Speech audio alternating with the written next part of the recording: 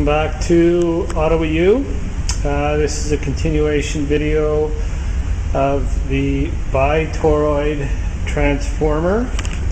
Uh, we have a new um, a new transformer set up here with the primary in the middle, secondary one, secondary two, and uh, this is a little different from the last one in that we have this um, additional uh, secondary back EMF induced flux path uh, this way here and that way there, keeping the flux uh, away from the primary. Uh, we have 104.8 volts going into our primary. Our power factor is approximately 75 degrees. Uh, it's on load right now. Our load, our purely resistive load is 27 ohms. We have uh, 3.3 volts across our 27 ohm load and our current into the primary is 0.003 amps. Now, normally, um, basically, right now, the transformer is operating at close to uh, 500% efficiency, and the reason for that is because when the two secondaries are placed on load, their induced back EMF uh, flux travels this way and this way. It avoids the primary and it is entering the the, the, the secondary coil, coils are feeding themselves rather than uh, feeding themselves and, and, and maintaining their voltage across the load without uh, the primary doing the work. Now, normally in a, in a conventional transformer, you have the primary and the secondary, and the primary delivers its flux this way. And uh, when you're on load, the, the primary delivers its flux this way. The secondary, when it's on load, it has an induced uh, back EMF magnetic field which travels back to the primary, causes the primary impedance to drop, and the current from the source increases, and the primary uh, magnetic field is uh, increases as well, and that's what maintains the voltage across the load. And normally, uh, the conventional transformers uh, load power factor is transferred back to the uh, primary. And uh, in the bitoroid transformer, uh, the, the power factor is very close to being, um, well, it's not 90 degrees with this one, but in previous ones it's been very close to uh, a power factor of zero. But you can see uh, with the alternate uh, uh, flux path routes, the primary is basically um, pretty much unaffected by the secondary back, EM, back EMF induced magnetic fields. Thank you for viewing. Cheers.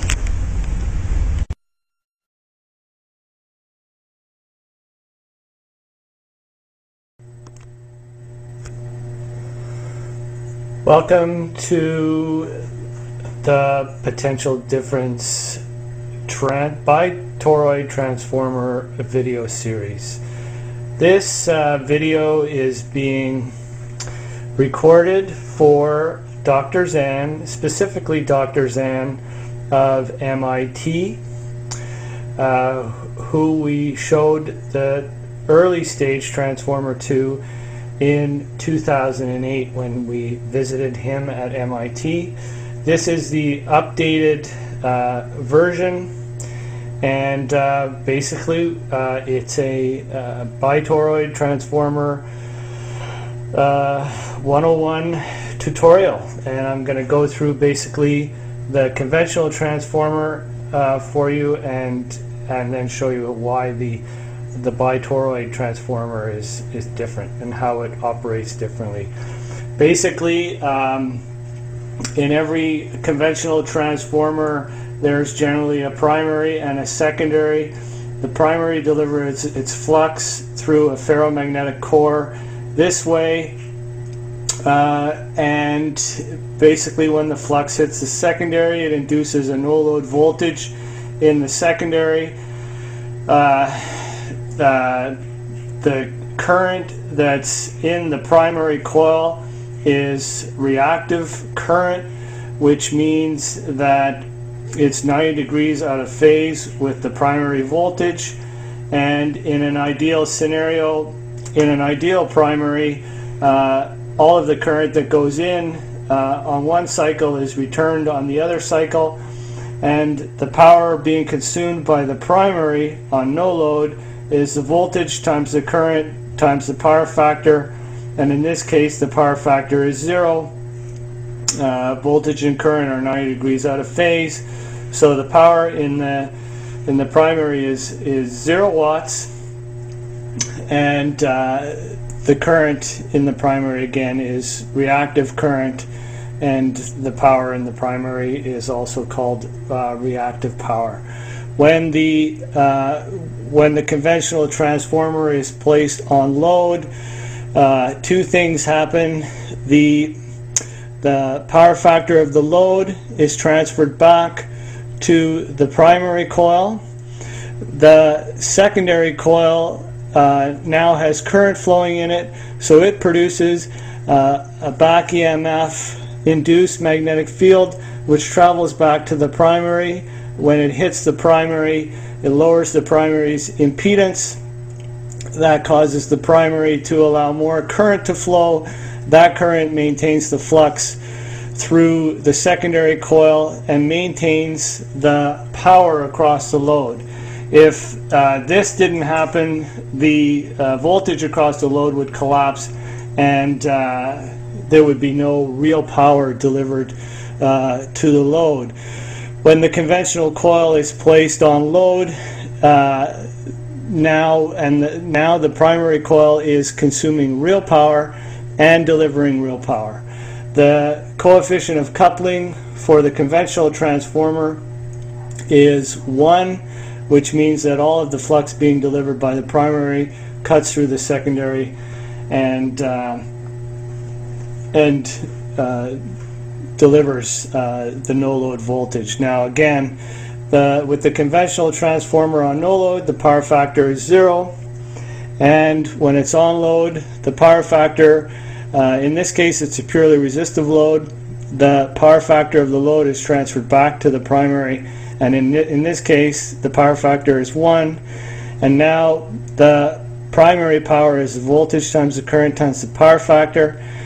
And the power factor is 1. So we have real power being delivered in the real power being consumed by the primary coil and real power being delivered by the secondary coil.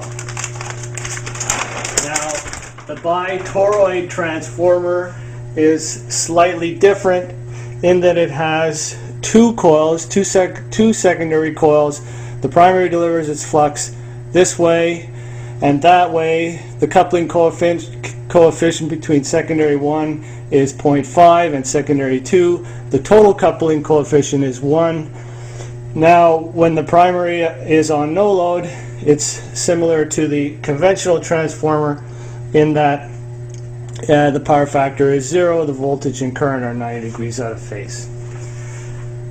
The interesting part happens when the when the bitoroid transformer is placed on load, the primary delivers its flux to the secondary this way and this way.